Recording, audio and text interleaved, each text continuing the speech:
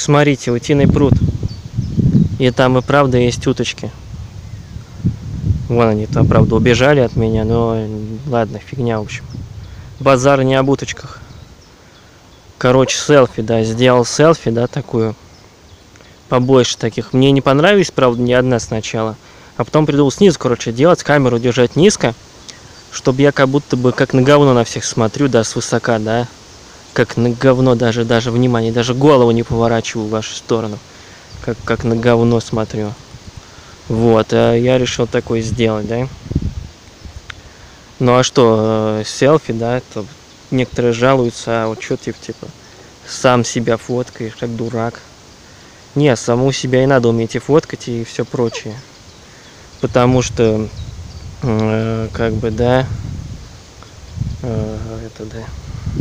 И стричься надо уметь себя самому постричь полностью от начала до конца. То есть взять машинку, это тысяча в восемнадцатом году это каждый должен уметь. Или, или бритву, да, и побрить на ус себе хотя бы, если не сможешь подровняться, да.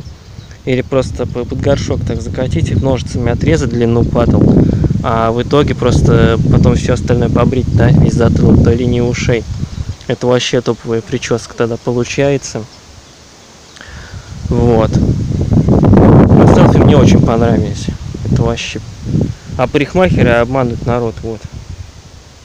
Я поэтому к ним давно, как бы без них отказаться, я давно, 5, 5 лет назад запланировал без них обходиться. Потому что их не бокс, полубокс, проще побольше оставить, все равно э, это самое, прическу молодежную сделают, то есть да, будет только челка торчать 2 сантиметра, а все остальное побрить на лысо, все равно их, их результат. Хоть бокс, хоть полубокс, хоть чего. Хоть каре-шмары заказывай, хоть черт знает что у них, они все одинаковые, а хипстерские ваши цирюльни, новомодные, которые только появились вчера, это вообще анекдот, а они все мандеркат делают и все. Даже если у тебя рожа, как восьмиугольник, тебе все равно андеркат сделают. Но это анекдот, это как под одну гребенку, да? Неинтересно, сами учитесь. Э, у кого руки прямее, тот и понятно. Будет понятен ваш профессионализм, насколько вы крутые а не настолько парикмахер вас ободрал. Вот, все равно андеркат вам сделает или полубокс местного бокса. Такая херня получится, все равно вам идти не будет нифига. Они просто по шаблону фигачат все, что старое, что новое, ничего не изменилось. А в этих парикмахерских никогда и никогда не изменится в жизни. Так и останется бокс-полубокс местного андерката. На утиный пруд что-то видно хлорка как-то залила, видите, какой цвет. Все равно там и рыб плавает и уточки крякают. У них, наверное, все лапы скукожатся потом от такой воды. Она или в мыле, или в хлорке, или еще в стиральном пирожке. Вот. Nice. Велосипед смазали, кстати, да? Велосипед смазали, видите? Пиздец, машинное масло стоит. Нигде нету, во-первых, хостоваров нигде нету, все пропало. А в веломагазине это масло стоит кучу денег просто, офигеешь. Вот это масло маленький только флакончик, вот небольшой такой маленький. Вообще 150 рублей, это и то самое недорогое. А остальные по 300 есть, по 600. Я офигеваю, да, то есть масло, оно раньше было вообще 20 рублей. Оно сейчас где-то есть 20 рублей, надо в Москву ехать за ним. А в городе единственный магазин, он спекулирует. Поскольку он единственный, он поэтому это масло в три дорого, да. Может, конечно, мотором сматывать, да, в этой купить в а, автомобилей и цены, да, купить. Ну там такой объем, там просто канистры пятилитровые этого масла, потому что автомобиль немерено надо. Да, и оно, наверное, не такое чуть-чуть, но уверен, оно годится, да? Годится, в общем-то, автомобильное масло. Но дело в том, что такой опыт мне не нужен. 5 лет, 5 литров, это мне э, на несколько жизней и внукам еще хватит, да, еще внуки и может быть даже правнуки будут пользоваться, получается, если автомобиль себе не купят.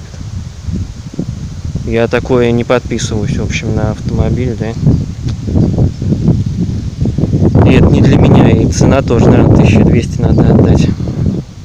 Это чуть дешевле, чем тут э, по весу, да, по удельному вот этому объему. Но все-таки не для велика оно. Вот что скажу. Ладно, в общем, good nice. Ветер задувает, не знаю, может ничего не запишется, я тут вякую тут много. Все, там тушить свет, в общем. Тушить свет, поеду домой. Наверное. Или еще покатаю еще кружочек тут вокруг пруда. Вокруг вот этого болота всего. Который тут вот этот пруд, а там огромное болото такое. В пол леса, да, пойду покатаю еще разок. В общем, да. Уже базарить не о чем теперь, да, я рассказал там по хитерении сегодня. Выложу в разные дни, как всегда, да. Один день записи, и потом ты полмесяца это самое, да, монтажируешь. А выкладываешь ты вообще как балды, как тебе взбредет в голову. Взбредет, выкладываешь, не взбредешь, не выкладываешь, на полгода задержишь видос. Как-то он в последнее время так происходит. Э, вот, ладно. А, да, еще новость про Озон. Озон кончился пока. Я стал записывать и дропнул, что есть файл э, больше диска там э, место заняло, MPEG 4, концовка не записалась и недоступна для чтения. Вот. В общем, пока, да, Озона пока не записал никакого, Озона пока временно не будет, поскольку он ничего просто не делает. Ничего интересного в его мире не происходит, все одно и то же. Он великий головоотрыватель, конечно, но я не спорю, он может, конечно, голову оторвать, но он же после этого штядит. А сидеть он хочет, поэтому всем голову оторвет, но не отрывает. Только оторвет. Вот так вот. Оторвет. И тебе тоже оторвет. Ты что, шутишь, и мне оторвет. И вот той уточки оторвет всем, и вот тому, даже вот тем вот кустикам, этим вот камышам, камышам оторвет голову тоже. А что нет? Вот бы на огород озона, чтобы он так сорняки отрывал. Вот цены бы ему не было.